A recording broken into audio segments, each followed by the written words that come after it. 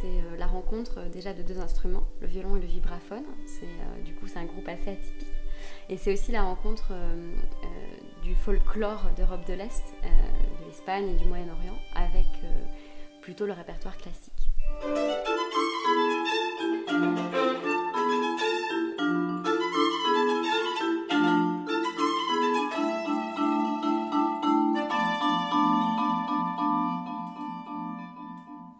Du coup, ça provoque un équilibre qu'on n'aurait pas eu sinon si on venait du même euh, background.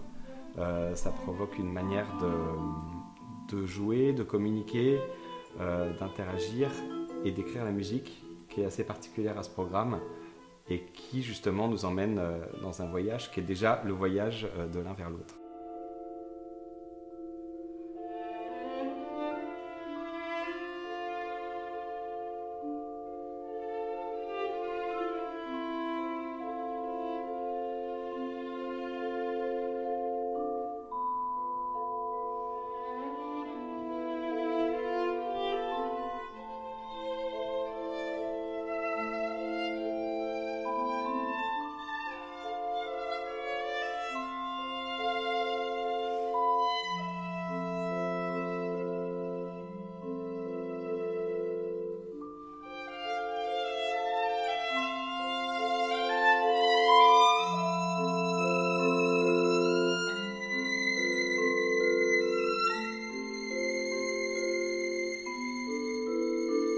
Chaque pièce qui compose le programme Odyssée, euh, c'est vraiment euh, nous amène dans des endroits différents. C'est-à-dire qu'on va en Espagne, on va dans les pays de l'Est, on va au Moyen-Orient, et toutes ces cultures euh, se rejoignent, se lient et se délient en fait. Et les, couleurs et les esthétiques de chaque pièce sont très différentes, et pourtant elles sont toutes unies par un lien, peut-être justement de la tradition folklorique ou orale, qui, qui se perd et dont on a vraiment besoin, peut-être encore plus aujourd'hui qu'à